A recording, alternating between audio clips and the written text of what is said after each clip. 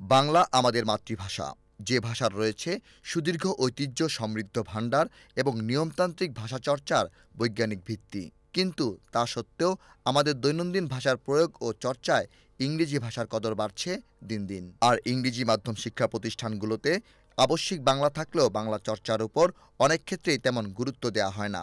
যদিও বিষয়টির সঙ্গে একমত নন ইংরেজি মাধ্যম শিক্ষা প্রতিষ্ঠান সংশ্লিষ্টরা।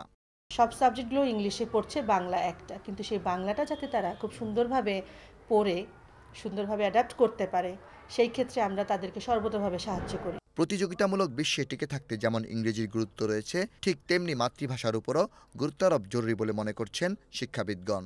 একটা জাতিকে আগিয়ে যেতে তার মাতৃভাষাই হবে তার মূল ভাষা তার অনুভূতি প্রকাশের ভাষা তার সত্তার ভাষা তার অস্তিত্বের ভাষা। কিন্তু প্রযুক্তি এবং ইন্টারন্যাশনাল কমিউনিকেশনের জন্য তাকে ইংরেজি জানতেই হবে। আমাদের ইংরেজি মাধ্যমের ছেলেমেয়েরা ইংরেজিতে পারদর্শী হোক সেটা তো আমরা সবসময় চাইব নিশ্চয়ই চাইব। কিন্তু একই সাথে বাংলা ভাষার যে ন্যূনতম যোগ্যতা সেটাও তার থাকতে হবে।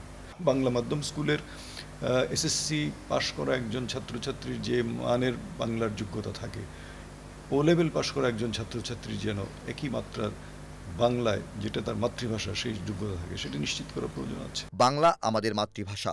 এটা আমাদের গৌরব। মাইকেল বঙ্কিম রবীন্দ্রনাথ নজরুল এ ভাষাকে মর্যাদার আসনে অধিষ্ঠিত করেছেন। এ গৌরব আমাদের অবশ্যই টিকিয়ে রাখতে হবে।